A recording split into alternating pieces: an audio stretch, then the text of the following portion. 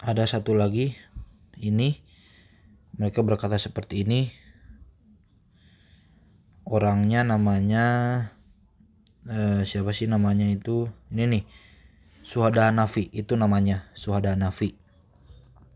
Ya dia berkata kepada saya seperti ini nih. Dukun ini tak memahami esensi rukyah itu.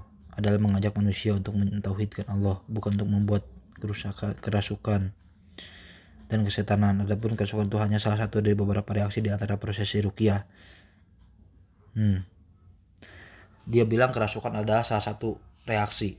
Nah, kalau memang kerasukan salah satu reaksi daripada efek rukiah, kenapa dia tidak bisa membuat kami kerasukan? Logikanya kan bodoh jika bilang kerasukan efek rukiah, tapi mereka nggak bisa membuat kita di Padepokan Sukmanang Sajati kerasukan. Ini memang bodoh. Logikanya nggak jalan bagi saya. Kalau benar e, kerasukan itu efek salah satu efek dari rukiah, kenapa mereka nggak bisa membuat kita kerasukan? Nih, ini saya tantang baik-baik lewat inbox. Mungkin dengan taruhan 50 juta mereka nggak berani. Saya tantang baik-baik dengan lewat inbox. Namun tetap mereka malah memblokir saya. Mereka malah memblokir saya. Lalu lanjut ya. Lanjut. Nah, ini juga salah satu bentuk proses rukiah yang mereka lakukan. Coba lihat. Ini ditekan-tekan titik syaratnya. Nah, titik-titik sarafnya ditekan. Bagian kaki itu titik saraf itu. Pantas saja orangnya kesakitan karena titik sarafnya ditekan tuh. Titik sarafnya ditekan. Ini ada tapi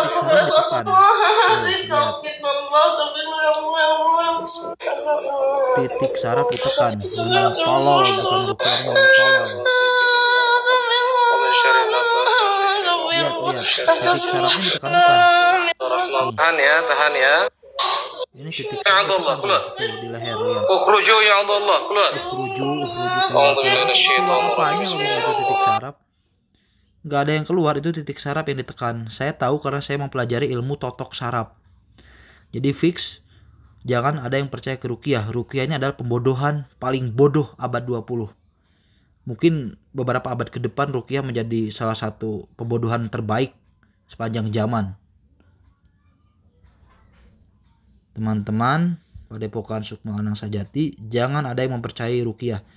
Jika ingin berobat, saya akan pergi ke kiai-kiai di pesantren. Jangan ke orang-orang bodoh seperti ini, orang-orang tolol, penipu-penipu atas nama agama.